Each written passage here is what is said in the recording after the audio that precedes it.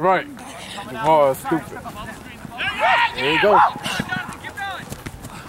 Get up. Round it out. Yes.